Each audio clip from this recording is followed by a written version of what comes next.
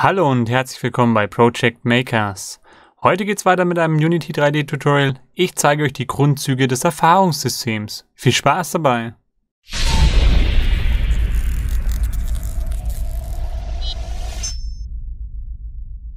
Wir beschäftigen uns heute mit dem Erfahrungspunktesystem und dazu zeige ich euch einmal, was ich da kleines gebaut habe. Wir haben wieder unsere Unity-Chan und unseren Enemy, beziehungsweise unseren, unsere Katze, unser Haustier in dem Fall und wenn ich jetzt die Taste drücke, erscheint ein Text und ihr seht auch schon hier ploppt was auf, Level 5.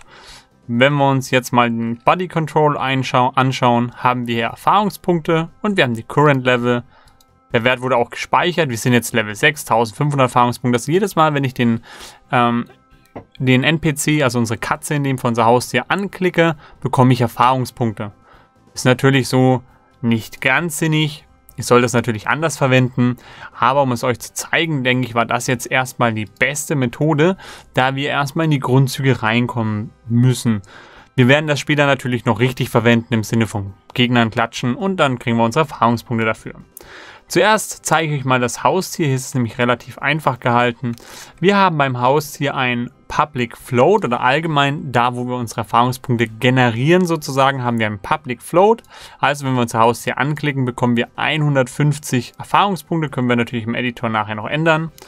Und wir haben hier in unserer Fixed Update hinzugefügt, wo wir einfach sagen, dass ein Text erscheint. Das hatten wir im Haustier-Tutorial Haustier-Tutorial ja schon, ähm, sagen wir Target.SendMessage Erfahrungssystem EXP.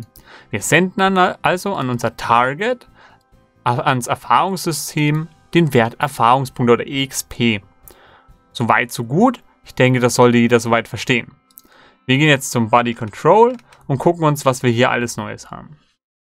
Wir haben hier ein Public Float Level Up XP. Wir haben ein Level Up Multi und wir haben hier unten noch drei Private, einmal ein Private Float und zwei Private In, das Level und Current Level. Level Up XP sind 200 am Anfang, also das heißt, wir brauchen 200 Erfahrungspunkte und Level Up Multi sind 1,2, das heißt, in jeder Level brauchen wir 1,2 mal so viel wie in der vorherigen. Wir haben natürlich Erfahrungspunkte, die wir aktuell haben, eine Level und eine Current Level. Jetzt schauen wir uns das Ganze an. Wir haben in unserem Erfahrungssystem, das ist das, wo wir unsere Send-Message hinsenden, einfach nur die XP übergeben, die wir gerade versendet haben, also die 150 von unserer Katze, und sagen unterstrich XP plus gleich XP. Das heißt, wir zählen zu unserer privaten Variable hier einfach die Erfahrungspunkte hinzu, die wir bekommen haben. Danach sagen wir direkt Player Prefs set float Erfahrungspunkte auf den Wert XP. Wir speichern also direkt den neu erreichten Erfahrungspunktewert in unserer Player Prefs mit dem Namen Erfahrungspunkte. Danach sagen wir Level ist gleich exp durch Level up XP mal Level up Multi und fragen ab if unterstrich Level nicht gleich Current Level Level up. Hier sagen wir im Endeffekt, hier rechnen wir uns die Erfahrungspunkte aus, die wir bei der jeweiligen Level bräuchten das speichern wir in Level. Und wenn unsere Current Level nicht gleich die Level ist, die wir hier anhand der Erfahrungspunkte ausgerechnet haben, dann sagen wir Level Up. In unserer Level Up Funktion haben wir Current Level gleich Level, also wir setzen die zwei Werte wieder gleich, damit die Abfrage beim nächsten Mal natürlich auch wieder funktioniert. Wir speichern die Current Level in unserer Player Pref Variable Level und wir sagen danach fartemp Instantiate Player Pref Level Canvas Transform, also wir instanzieren ein Level Prefab in unserem Level Canvas, das zeige ich euch gleich noch, und sagen temp get component text gleich Level plus current level to string. Wir, das ist einfach das, was ihr gesehen habt, wir lassen da einen Text aufploppen, bei dem steht Level, Doppelpunkt, Leerzeichen und dann die Level, die wir gerade aktuell haben. Ganz wichtig noch, also das hier wird ja auch gespeichert, das sind unsere zwei Funktionen, die wir hinzugefügt haben. Und in unserem Awake bzw. im Start ähm, wollen wir das Ganze natürlich laden. Wir fragen also zu Beginn ab, if PlayerPref has Key Erfahrungspunkte, also gibt es diesen Wert, dann sagen wir exp gleich PlayerPref get float und wir fragen ab, if PlayerPref has Key Level Und wenn das so ist, also wenn wir den Wert haben, wenn der schon mal gespeichert wurde, sagen wir Current Level gleich Player Get Level und wir sagen Level gleich Current Level. Sollte das nicht so sein, ist die Current Level 1 und Level ist auch gleich Current Level und danach speichern wir. Also beim ersten Start wird die Level auf 1 gesetzt.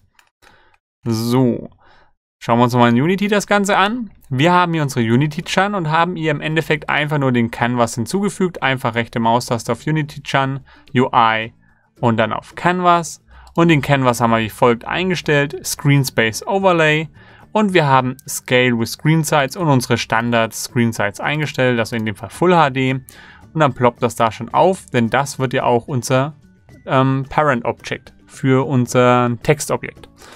Wir sagen also in unserem Script, wir haben hier die Level Up XP, Level Up Multi und wir fügen hier hinzu unser Level Prefab, das zeige ich gleich noch, und unser Canvas, das wir hier haben.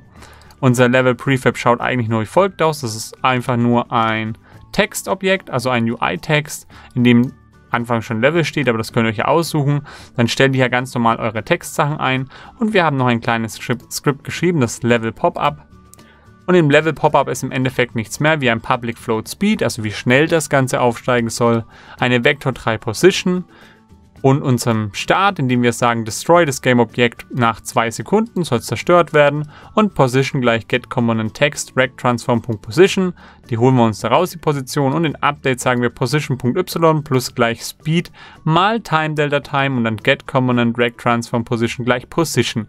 Also wir ändern den y-Wert von unserer gespeicherten Variable und sagen, der ist gleich unser RecTransform.Position.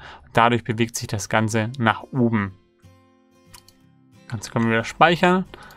So, der Speed ist aktuell auf 150, nicht wie es da im Skript steht, weil wir hier eine Verbindung zwischen einem Rack-Transform, also pixelbasierend, und normalem Transform haben, das wir bewegen. Deswegen 150, deswegen muss es so schnell in Anführungsstrichen gehen. Auf unserem Haustier ist einfach, nö, ist gar nichts mehr. Wir haben hier nur eingestellt die XP auf 150 und schon funktioniert das Ganze. Wir können uns hier im Player Pref Editor, können wir uns das Ganze anschauen. Also wir haben jetzt die 1500 Erfahrungspunkte. Gehe ich mal zur Katze ein bisschen näher ran. Und wenn wir jetzt aktualisieren, haben wir 1650, beziehungsweise wir können es uns ja auch hier anschauen, bei Unity-Chan und sind auch Level 6 aufgestiegen. Jetzt sind wir Level 7 mit 1800 und ihr seht, da ploppt dieser Text kurz auf. Haben wir noch genau in unserem Canvas und hier haben wir unseren Textklon und der ploppt einfach auf und fliegt nach oben weg. Zack und wird wieder zerstört.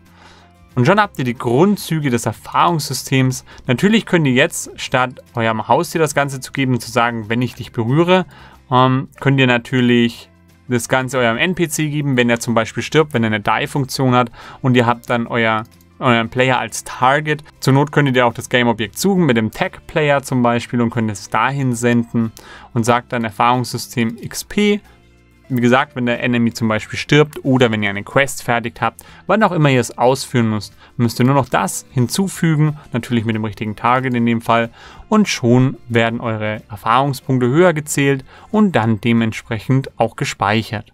Ich würde sagen, das war es auch schon wieder mit diesem Tutorial. Wenn es euch gefallen hat, lasst doch bitte einen Daumen nach oben da. Ansonsten habt ihr drüben noch den Abonnieren-Button, hier oben das aktuellste Video, hier unten drunter speziell eins für euch ausgewählt.